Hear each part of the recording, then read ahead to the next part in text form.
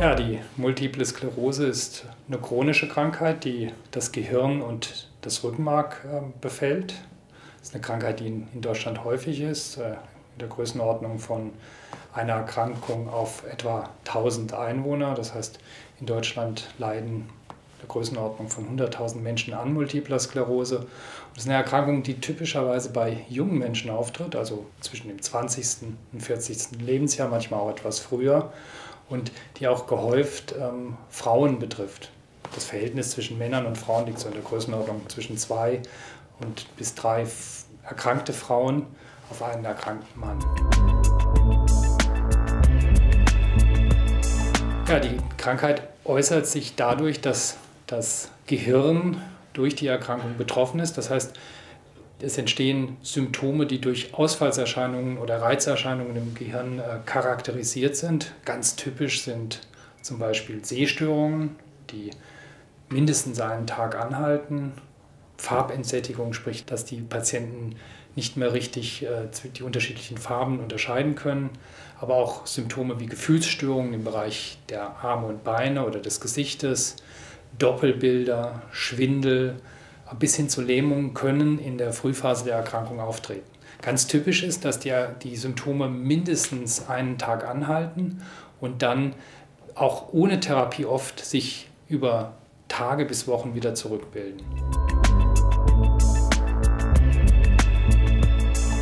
Die Ursachen der Erkrankung sind letztlich nicht wirklich bekannt. Also wir wissen bis heute noch nicht, warum kommt es zur MS, was verursacht MS, aber wir wissen, es gibt Risikofaktoren. Also wir wissen beispielsweise, dass bei der Erkrankung einerseits eine gewisse erbliche Veranlagung von Bedeutung ist, wir wissen andererseits aber auch, dass Umweltfaktoren ganz wichtig sind. Und hier spielen wahrscheinlich Faktoren wie Infektionen, aber auch Ernährung eine ganz wichtige Rolle. In den letzten Jahren hat man viel über die erbliche Belastung bei der multiplen Sklerose herausgefunden. Man weiß, dass die MS nicht eine Erberkrankung im engeren Sinne ist, sondern dass da ganz viele unterschiedliche Gene, vorwiegend Gene aus dem Immunsystem, wichtig sind, ähnlich wie bei anderen Immunerkrankungen wie zum Beispiel dem Diabetes oder also der Zuckererkrankung oder der Rheumaerkrankung.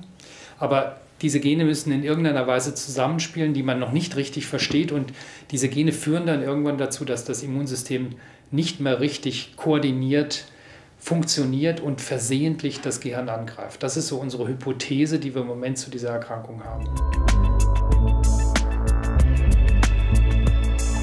Die Diagnose einer multiplen Sklerose stellt normalerweise der Facharzt, in dem Fall der Neurologe, der sich besonders gut mit der multiplen Sklerose auskennt.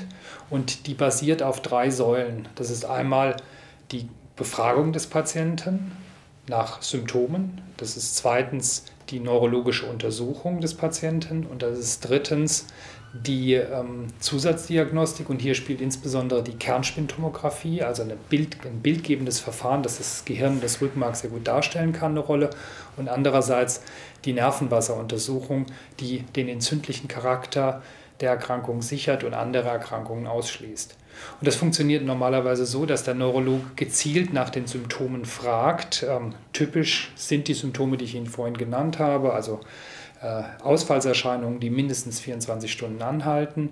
Dann untersucht der Neurologe den Patienten, arbeitet Auffälligkeiten heraus und dann wird die Zusatzdiagnostik ähm, eingeleitet und abschließend kann dann die Diagnose einer multiplen Sklerose gestellt werden. Wobei bei der Diagnosestellung wichtig ist, die multiple Sklerose ist eine Erkrankung, die mehrzeitig abläuft und in der Regel ist es so, dass die Erkrankung erst diagnostiziert wird, wenn mehrfach neurologische Symptome auftreten und in der Anfangsphase, wenn der Patient zum ersten Mal Ausfallserscheinungen zeigt, dann eigentlich nur ein dringender Verdacht geäußert werden kann und meistens erst im Verlauf dann wirklich die definitive Diagnose gestellt wird. Multiple Sklerose gilt heute, zumindest die meisten Verlaufsformen, als eine behandelbare Erkrankung. Als ich mit als Neurologe startete vor 20 Jahren, hatten wir eigentlich noch keine etablierte Therapie. Das hat sich aber in den letzten 20 Jahren nachhaltig geändert. Wir haben heute mehrere Medikamente, die wir einsetzen können, um den Verlauf der multiplen Sklerose positiv zu beeinflussen. Wir können die Krankheit nicht heilen, aber wir können zumindest Krankheitsaktivität verhindern, auch verhindern, dass es zu einem Fortschreiten der Behinderung kommt. Und das ist eigentlich ein Verdienst der intensiven Forschung, die die letzten Jahrzehnte stattgefunden hat und die sich jetzt ummünzt in Behandlungsmöglichkeiten. Es wird in den nächsten Jahren sicher so weitergehen, dass wir voraussichtlich jedes Jahr, jedes zweite Jahr neue Medikamente zur Verfügung haben, die den Verlauf der Erkrankung positiv beeinflussen können. Das hat natürlich auch seinen Preis. Jedes Medikament hat Nebenwirkungen und man muss insofern auch sehr vorsichtig mit den Medikamenten umgehen. Aber unterm Strich muss man sagen, dass zumindest die schubförmig verlaufende Multiple Sklerose, die vorherrschende Verlaufsform dieser Erkrankung, heute behandel, eine behandelbare, zwar keine heilbare, aber eine behandelbare Erkrankung darstellt.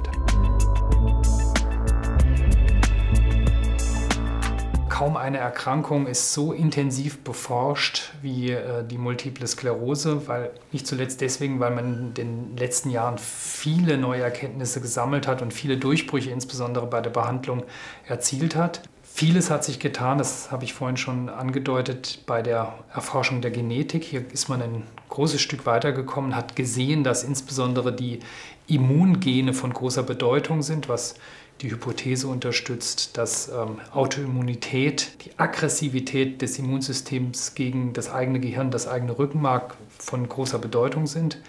Man hat ähm, ist im Moment dabei, sehr intensiv zu beforschen, wodurch die Multiple Sklerose verursacht wird. Man sucht intensiv nach den Zielstrukturen. Warum greifen Immunzellen das Gehirn an und gegen welche Eiweiße im Gehirn richtet sich diese Immunreaktion? Diese Untersuchungen sind im Gange. Da gibt es jetzt noch keine definitiven Ergebnisse, aber da bewegt sich im Moment sehr viel.